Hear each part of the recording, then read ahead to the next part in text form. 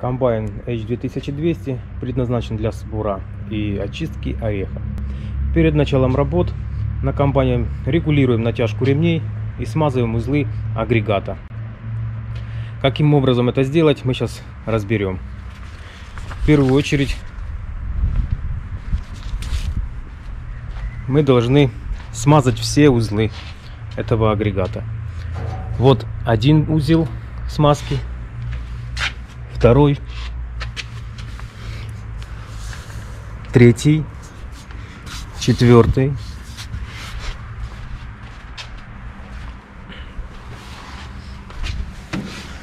пятый, шестой, седьмой, восьмой. И девятый. Также сейчас посмотрим, как натягиваются и регулируются ремни.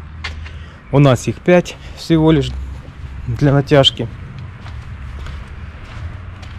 Вот у нас есть цепь. Мы его попускаем.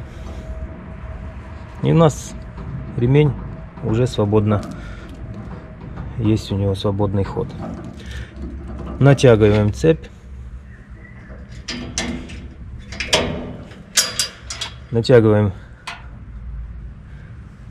ремень таким образом, чтобы он не был сильно натянут. Была маленькая такая, чтобы он прогибался так. Вот.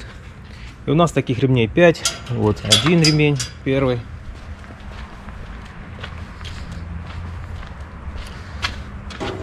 Второй ремень. Третий. Четвертый. И пятый. Ну, с регулировкой ремней и смазочными узлами мы закончили. Перейдем к процессу работы. Как работает, на каких оборотах комбайн. Значит, после того, как мы все отрегулировали, смазали, технически посмотрели его, цепляем карданный вал Он вращается на 540 оборотов. Также двигатель трактора должен работать в режиме 1100-1200 оборотов в минуту. И начинаем мы обзор по принципу работы агрегаток. У нас установлены два вентилятора. Вот первый вентилятор выполняет функцию подать орех в бункер, засасывая его в это отверстие, или в это, или в это. Это три отверстия, которые могут засасывать орех в бункер. Надевается на это отверстие шланга и работаете на расстоянии шланги. Дальше орех, который попал уже в бункер, переходит бункер очистки. Он сюда засыпается. Рекомендуется засыпать э, максимальное количество ореха где-то выше половины. Вот в это. Где-то вот приблизительно так.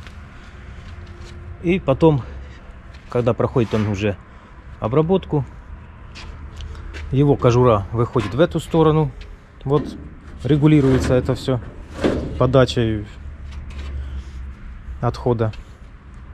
И дальше орех проходит, падает в эти отверстия, очищенные уже, обработанный. Падает в эти отверстия и поступает вот в этот клапан. Здесь уже начинает работать второй вентилятор, вот этот. У него установлено два выхода, два клапана. Этот выход, эта труба подает воздух вот сюда.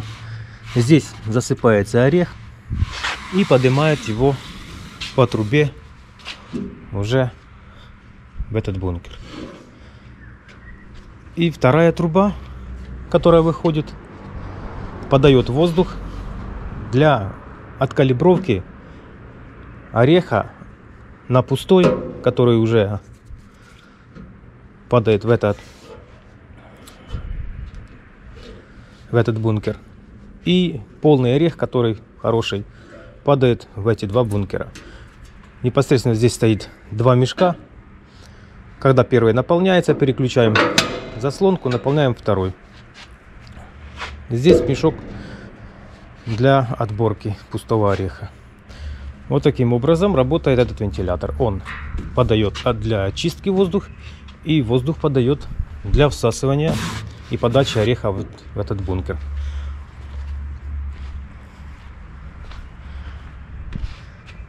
Этот клапан у нас для того, чтобы не отработанный орех, который не упал вот в это отверстие, там можно посмотреть.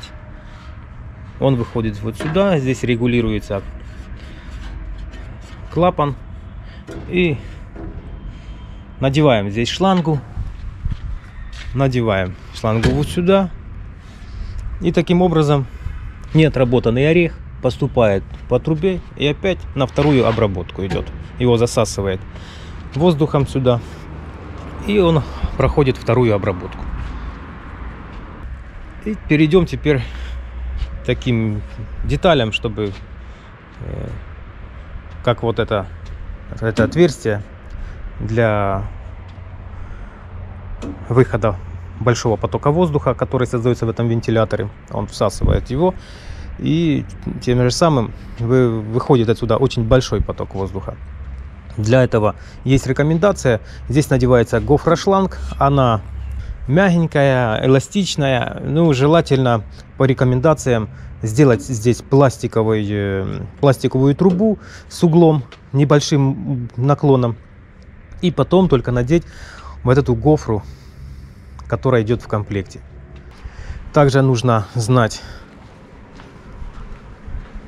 по этому бункеру. Это бункер для листьев, для отходов, для больших, когда вы пользуетесь вот здесь, когда у вас всасывается по такой же шланге большой орех, и вы его собираете не с кучи, а собираете прям э, с земли, вам туда может попасть камень, ветки, большие э, листья, все, оно все заходит вот в этот бункер.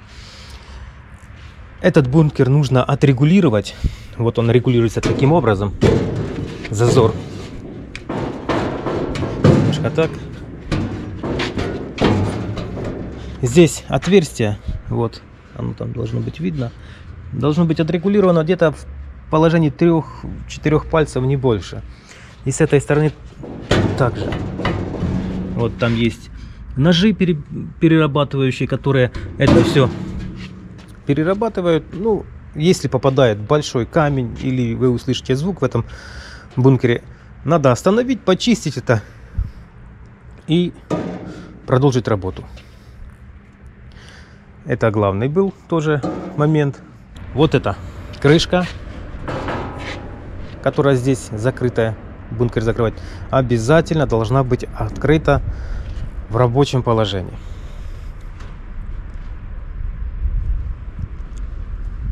Вот такой краткий обзор.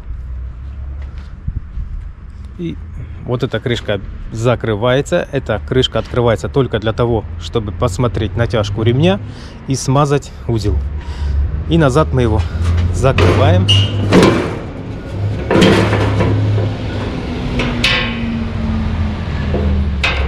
И в работе он закрыт у нас.